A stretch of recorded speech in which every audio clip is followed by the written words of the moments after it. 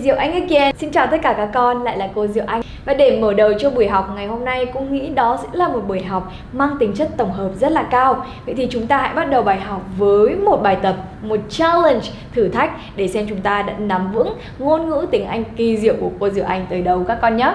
Are you ready? Yes or no? Yeah, here we go. Vậy thì bài tập của cô Diệu Anh ngày hôm nay sẽ là một bài tập nghe, các con nhé. Và ở đây cô đang để trống những chỗ trống vô cùng là quan trọng. Ngay bây giờ hãy giúp cô điền những chữ ở trên hộp màu đỏ vào chỗ còn thiếu này. Chúng ta sẽ có 5 giây để nghe và hoàn thành bài tập này giúp cô nhé. Are you ready? Yes or no? Yeah. What is your favorite color?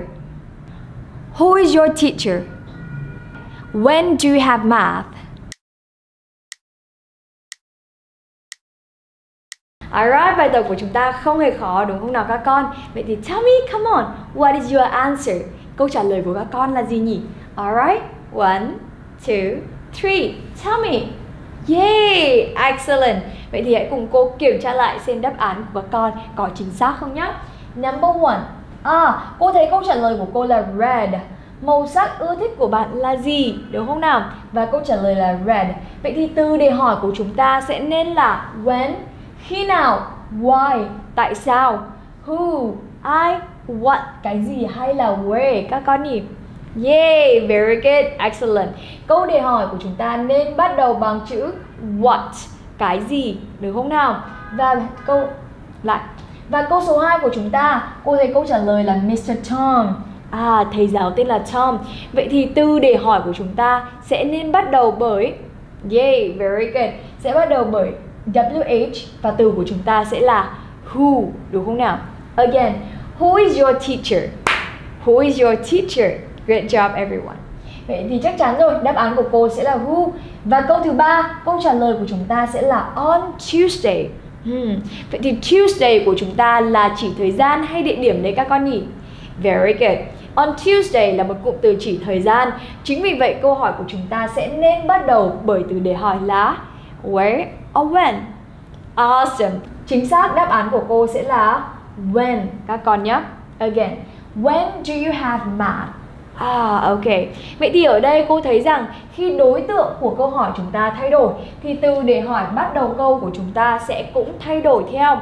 Vậy thì chính xác cách sử dụng của những từ để hỏi when, why, who, what và where sẽ là như thế nào đây các con nhỉ?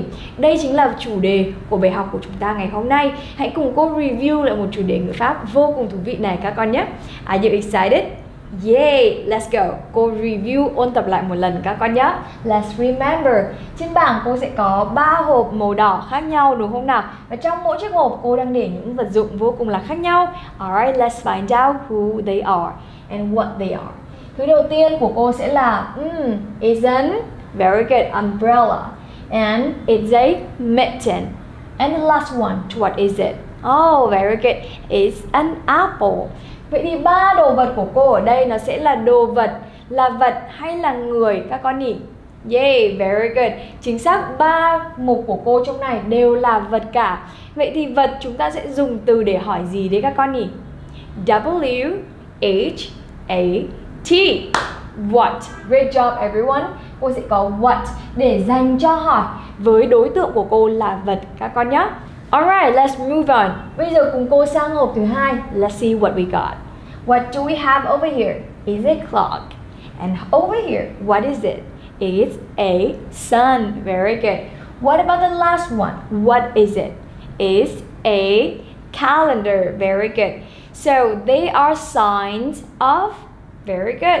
Vậy thì những đồ vật này của cô sẽ biểu hiện cho thời gian hay nơi trốn đây các con nhỉ? Yeah, excellent. Nó biểu hiện cho thời gian và trong tiếng Anh khi muốn hỏi về thời gian, cô Diệu Anh sẽ dùng từ để hỏi nào đây các con ơi? Yes, very good. Cô sẽ dùng từ when. Alright. Vậy thì ở hộp cuối cùng của cô sẽ có những gì đây nhỉ? Mm. Do you think she's a woman or a man? Yeah, very good. Is a woman. Very good. And he is a man. Vậy thì trong hộp cuối cùng của cô sẽ có tín hiệu về của con người đúng không nào? Trong câu hỏi, khi các con muốn đặt một câu hỏi với đối tượng là con người, chúng ta sẽ dùng từ để hỏi gì đây các con nhỉ? W H O and we have who. Very good. Vậy thì bây giờ cô Diệu Anh sẽ giúp các con ôn tập lại bằng cách khi cô Diệu Anh nói thing, các con sẽ phản xạ lại bằng what.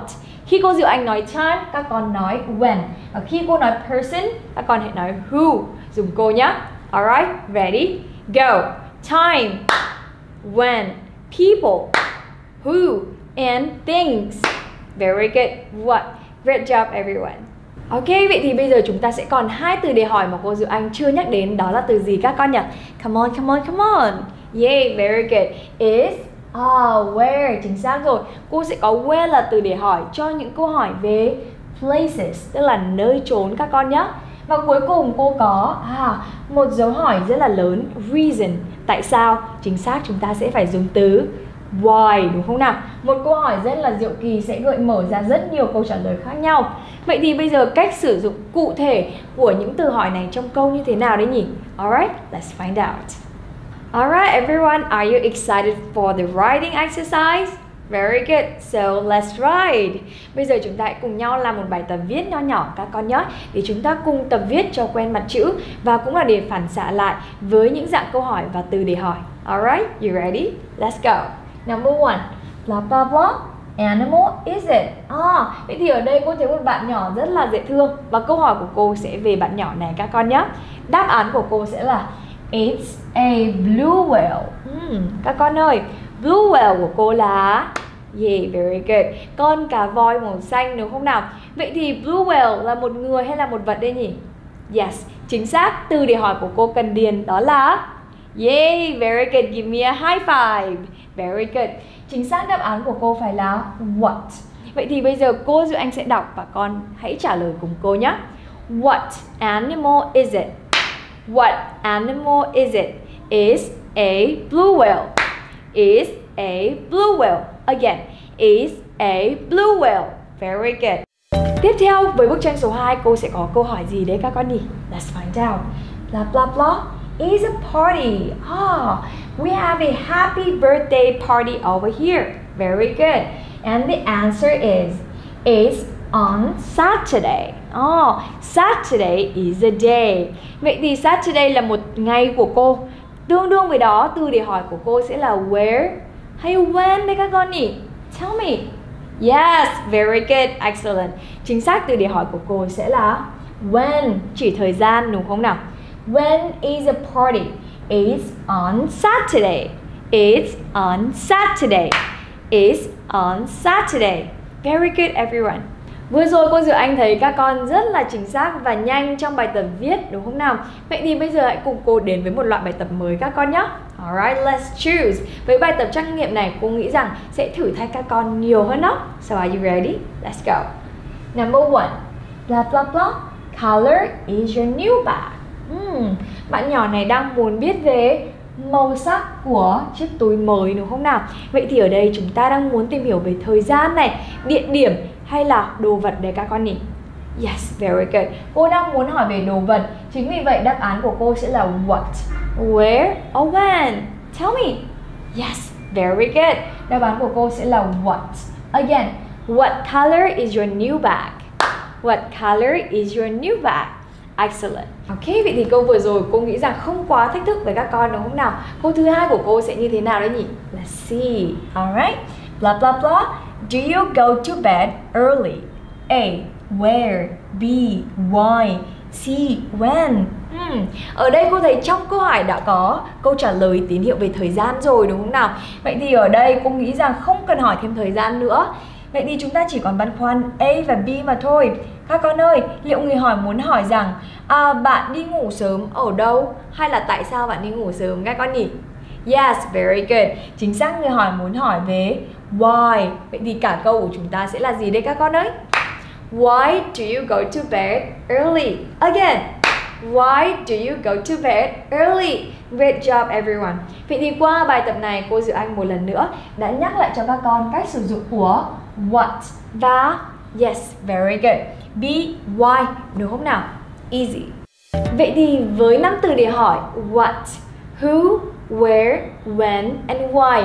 Cô tin chắc rằng để chúng ta có thể nắm thật chắc và đặt câu hỏi thật nhanh và chính xác, chúng ta không thể nào bỏ qua phần làm bài tập đúng không nào? Và hãy nói nhỏ với ba mẹ cho cô Diệu Anh một like trên Facebook và một subscribe trên YouTube channel để cô gặp lại các con thật là nhiều trong chuỗi bài giảng 45 ngày xây gốc ngữ pháp cho các bạn học sinh tiểu học các con nhé. That's it for today. Till next time. Bye.